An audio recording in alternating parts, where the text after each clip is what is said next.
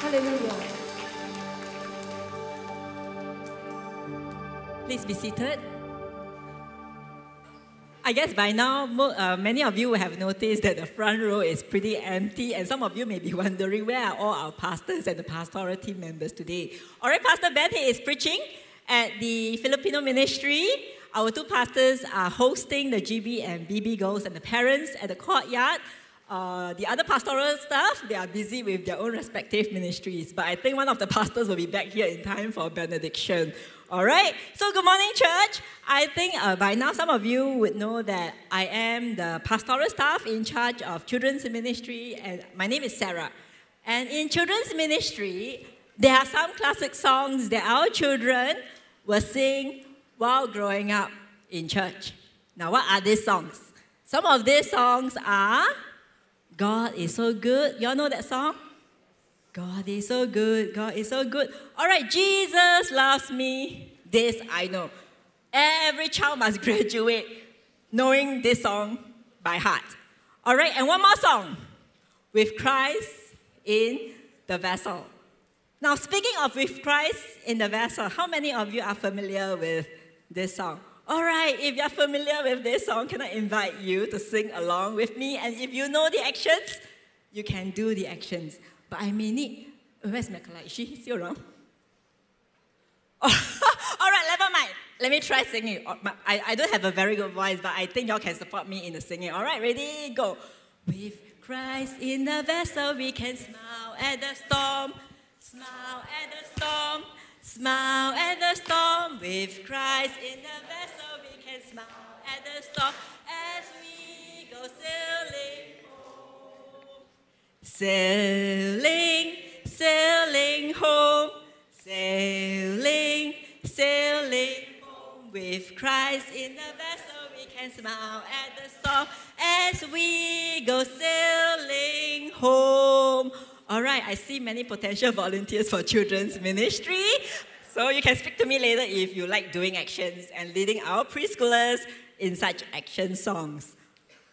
Now, I'm not sure about you, but for me personally, when I was much younger and life was much easier and less complicated, I could sing this song easily with much conviction in my heart. With Christ in the vessel, I can smile at the storm, smile at the storm, smile at the storm. However, as I grow up and life becomes a bit messier and more complicated, I find that it's becoming more difficult to sing this song with a childlike faith. Now, can I truly smile when storm comes my way? Now, just a while ago, I had a health scare. I found a lump in my body, and so I went to see the specialist. And she wasn't too assuring. So after she checked the lump in my body, she looked at me in the eye and just as a matter of fact told me, all right, so this is what you have to do. Firstly, you have to go and do a mammogram. After that, you have to go and do ultrasound. And depending on the results of these two tests, you may have to do a biopsy. So after I left the clinic, all kinds of negative thoughts came to my mind. Is it cancer? So, what happens if it is cancer? And I found myself not being able to smile at the storm that comes my way. Now, life has been likened to a journey through a sea of storms, ranging from gentle showers to tempests that threaten to overwhelm us. And maybe for some of us today, our storms are a looming project deadline, the loss of a loved one, the fracture of a relationship, the shadow of a health crisis, the turmoil of a financial crisis. These challenges can feel overwhelming, like waves crashing over us, and they can leave us feeling helpless, hopeless, and overwhelmed. And for some of us, they can also cause us to wonder and question our faith. Where is God in all of this? Does he care? Has he abandoned me? Now, today, if you are going through a storm and you are feeling overwhelmed by the storms in your life and you are wavering in your faith, I just want you to know that you are not alone. Many characters in the Bible also grapple with doubts and uncertainties and question God even when they go through difficult times. And today we are going to look at one such character and see how he emerged from his overwhelming circumstances to become an overcomer. And we will see how God met him where he was, but did not leave him as he was. Now, if you have your Bible, you can turn with me to Judges chapter 6, verses 11 to 13. And we will also be reading from verses 23 to 24. But if you do not have your Bible, you can look at the slides on the screen. I will be reading the words in black, and I will invite you to read the words in red for me. Judges chapter 6, verse 11.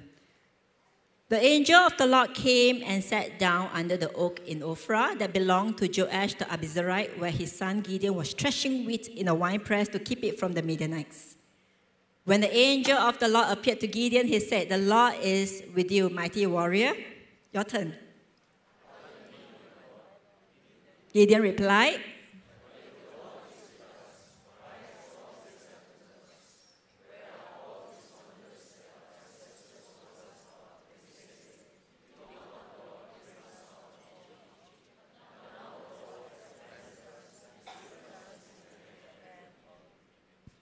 Verse 23 and 24 But the Lord said to him, Peace, do not be afraid, you are not going to die. And verse 24 So Gideon built an altar to the Lord there and called it the Lord is Peace. To this day it stands in Ophrah of the Abiezrites. This is the word of God. Now Gideon was going through a storm, and it was a storm that had raged on for a long time. Because for seven years, he and his countrymen were living under the oppression of their enemies. And they were constantly on the run, hiding from them. And what is the root cause of their problem? Now, Judges chapter 6, verse 1 tells us what was the cause of their situation. They were evil and they did they did evil in the eyes of the Lord and they were disobedient unto the Lord. Now, for those of you who are familiar with the book of Judges, you know the drill. Basically, Israel will experience a time of peace. After that, they become complacent. They will worship other gods. And because they were disobedient, God gave them over to their enemies. And then they will cry out to God for help. God will raise up a deliverer, deliver them, and then they experience peace. And the cycle starts again. All right, it's like a broken record of disobedience, repentance, and deliverance. And in Judges 6, we see this cycle being played out again. Basically, Israel had enjoyed 40 years of peace, and then they became too comfortable and they began to worship other gods. And they did evil in God's sight. And because of that, God allowed them to be oppressed by foreign powers. And now, Judges chapter 6, verses 3 to 5 tells us what the enemies did to them. Now, basically, whenever it was harvest time, the enemies would come down like a plague of locusts. They would devour and destroy everything in the way, and they would leave nothing for the Israelites. And the Israelites cannot fight back, could not fight back. Why? Because they were less equipped than the foreign powers, and they were also outnumbered because the Bible tells us that the foreign powers were like a plague of locusts, very destructive. And so the Israelites could only do one thing. Whenever it's harvest time, they see the enemies coming, they will flee to the safety of caves, dens, and mountains to hide. And this is where we found our Bible character today Gideon. All right, so what was Gideon doing? Gideon was actually threshing wheat in a wine press. And this action of threshing wheat in a wine press shows us how dire the situation was for him and for the Israelites then. Now, for those of us who grew up in the city, we may not know how wheat is threshed. So, this is actually how wheat is threshed. Basically, you need to do this in an open area so that when you raise up the wheat, the wind can just carry the unwanted chaff and leave what you want behind. But if you look at the diagram or the picture here, Gideon was hiding in such a small hole trying to thresh wheat. So I was trying to think of a modern equivalence for this. So it's like you're hiding in a box trying to flip a prata or do teh tarik. All right, so a bit challenging. And somebody has also described his way of threshing wheat like cooking in the dark or frying egg in a toaster. I don't think we do that, right? All right, so it was, he was basically trying to do a task in the wrong place. But he had no choice because he was hiding from the enemies and he has to protect his hard earned grain. And so, because he was in such a difficult, oppressive, overwhelming situation, he was feeling very disheartened and disillusioned. And his feelings and his negative perception of the situation could be seen from his dialogue with the angel in verse 13. Now, he has many questions for the angel, whom he thought was a human being. He says this The Lord is with us. Then why did all this happen to us? Where are all the wonders our ancestors told us about? The Lord has abandoned us, and He has given us into the hands of the Midians. Now, we can sense the frustration, the anger, the despair from his dialogue with the angel. Basically, Gideon could not reconcile his knowledge of God with his own personal tragic experience. And there seems to be a disconnect between the God that he has heard about from his ancestors and the God of his situation now. Now, the ancestors has told him, yes, the Lord has led us out of Egypt. He has fought for us. He has provided for us. But for Gideon, his questions would be then where is he now? God is missing in action. And so he came to this conclusion the Lord no longer cares. He is not interested in us anymore. Now, perhaps today some of us can resonate with Gideon's sentiments because the God of the Bible the God that you read about in the Bible does not match your own personal experience. Perhaps even as you go through your storms and you're feeling overwhelmed by the challenges in your life, you question why God seems so distant. Why suffering persists even though you pray earnestly. You feel frustrated and even angry with God. And maybe like Gideon, you blame him for his perceived inactions. Now, brothers and sisters, there is something valuable we can learn from Gideon's experience, and that is God meets us where we are. God meets us where we are in our doubts, our frustrations, our anger, our confusion, to care for us. And He does not condemn us nor for us for having these negative thoughts or emotions. Now, if you read through the book of, uh, if you read through Judges 6, there is no record of all, at all of God rebuking Gideon for his sin, for his negative perception over the situation. Gideon was very honest in his conversation with the angel. And likewise, we can be honest with God about how we feel when we go through overwhelming circumstances. God can take our honesty. Now, throughout the Bible, we see individuals who boldly come before God to express their anguish, their pain before God, even when they go through difficult times. For example, the book of Psalms, they are replete with heartfelt cries of desperation and confusion by those who are going through difficult times. How long, Lord? Why, O oh Lord, do you stand aloof? Will you utterly forget me? My God, my God, why have you forsaken me? Now, these are prayers of lament. And these prayers of lament reminds us that it is okay to be honest with God about our struggles, doubts, and frustrations. There is a place for authentic prayers of pain and agony in our walk with God.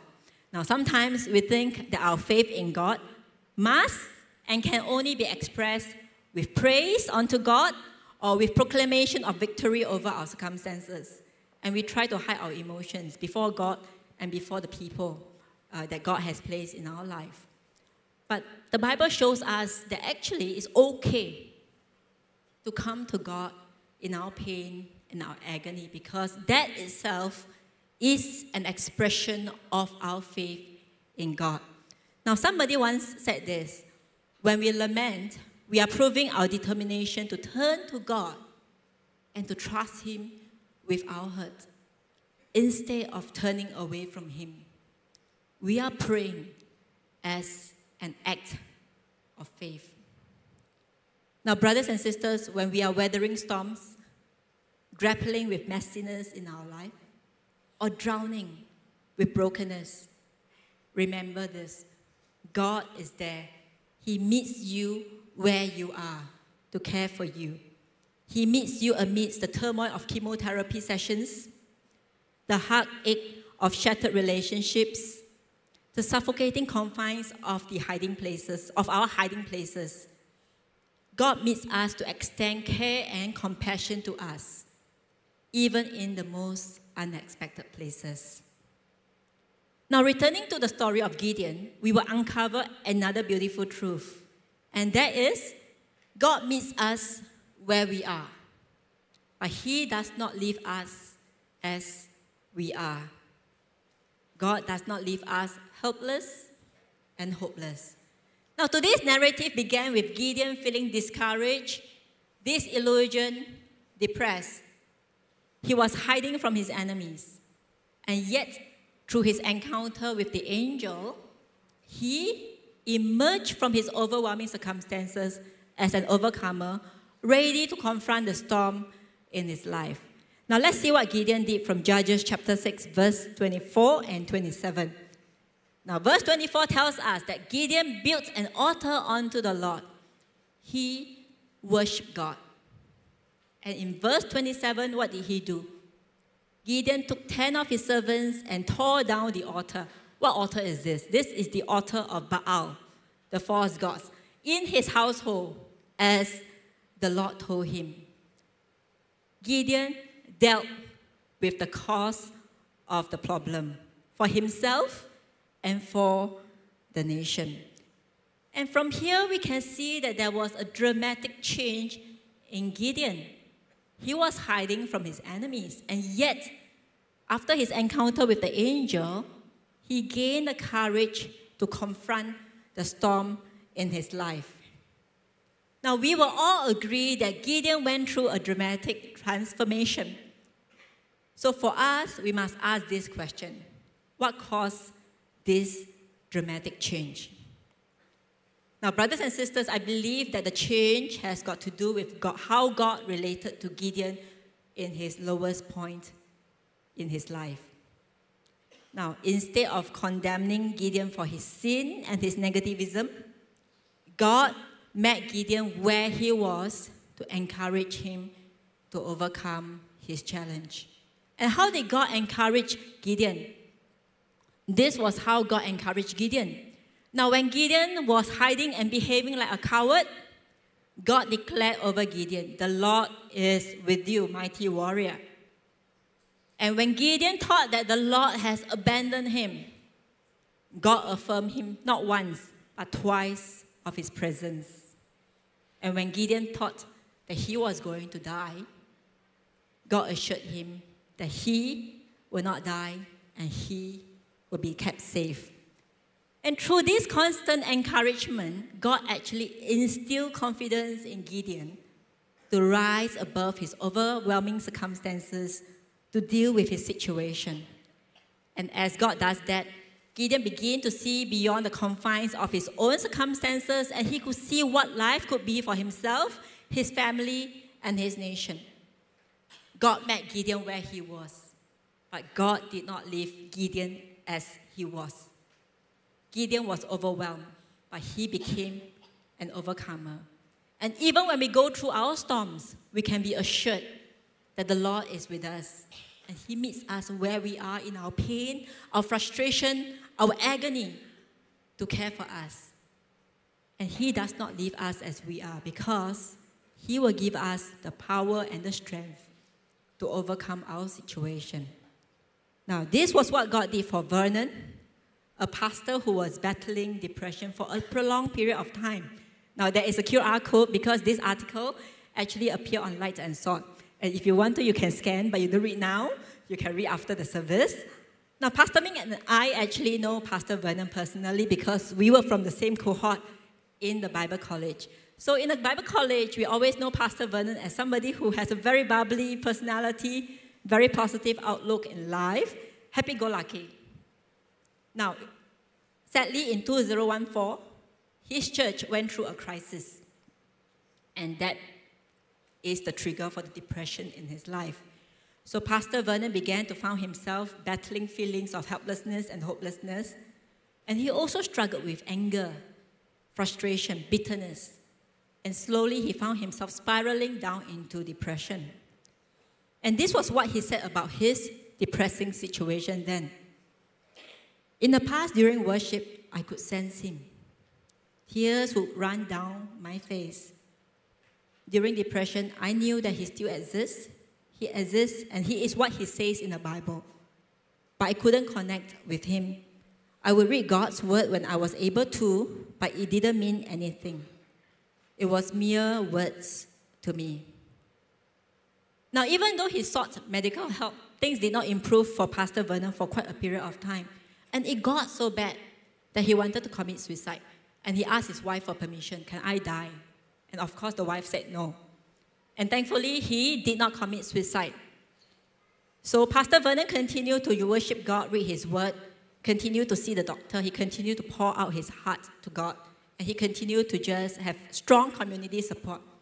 And finally, in August 2018, about three, four years since the diagnosis of his depression, he got his breakthrough. The anxiety, the depression, somehow suddenly lifted. And in the following year, he could even be off medication. He was totally healed. And so when I was preparing for this sermon, I just dropped Pastor Vernon a text and I asked him, Hey, how did God meet you in your storm and help you come out of it? And this is what he said. Well, for somebody who is in the midst of depression and anxiety disorder, it was tough to know or sense any encouragement from anyone or even from God for various reasons. I was just trying to live one day at a time, struggling with the emotions and symptoms of anxiety. However, as I reflect, God met me in the storm through people, family, colleagues, people who serve with me in ministry, friends, and even my doctors, like my psychologists. They were supportive, encouraging, but not to a point that I found them to be an irritant. They gave me the space to heal. Now, brothers and sisters, some of us may have noticed a difference between Gideon's and Pastor Vernon's experience. And the difference is this Gideon has an encounter with an angelic being, but Pastor Vernon did not. However, I just want to point out it is intriguing to observe that when Gideon first started talking to the angel, he thought that the angel was a very ordinary person. And he felt comfortable enough to pour out his heart to the human looking angel. Now, even though this seems to be a very small detail in today's narrative, it tells us something important that God chose to reveal himself to Gideon in human form. And it's also quite amusing to note that when Gideon finally noticed that hey, he's not talking to a supernatural, uh, he's not talking to a normal person, but to a supernatural being, he was so scared that he thought that he was going to die. And I think maybe we would have reacted in such a way too if God appeared to us supernaturally. Now, while it is possible for God to reveal Himself to us in supernatural ways, today we can still ask God for that. We can say, God, I want divine encounters with angel. All right? But I believe more often than not, God chooses not to reveal Himself supernaturally to us. Even when He sent Jesus to earth, Jesus took the form of man and related to people around Him.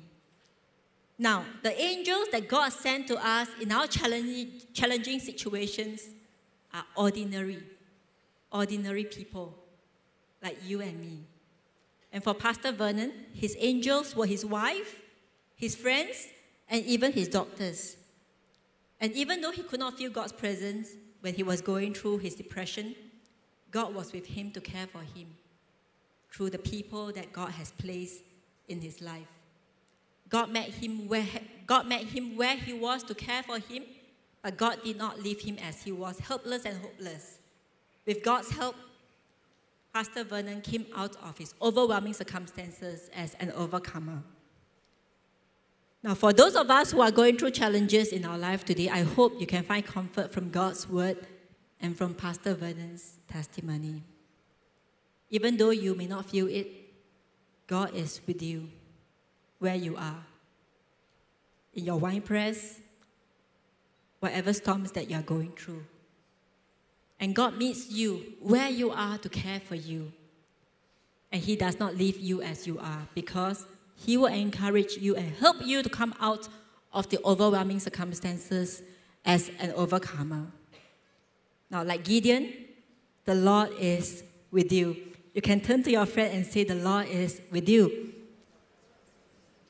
All right, and He will keep you safe through the storm. Sailing, sailing home, God will keep us safe.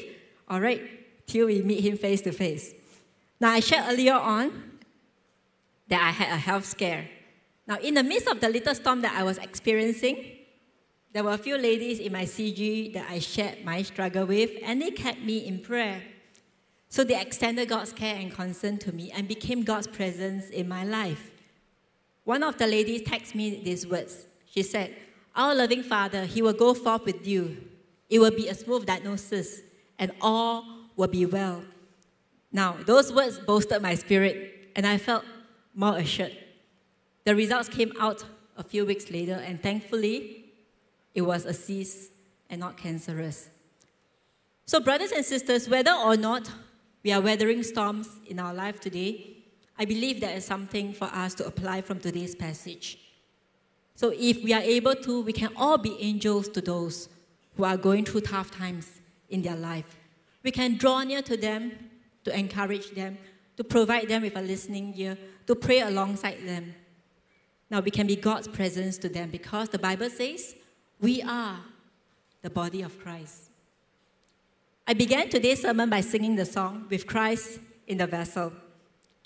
For those of you who are going through storms, you may not be able to smile at the storm. And I think that is okay.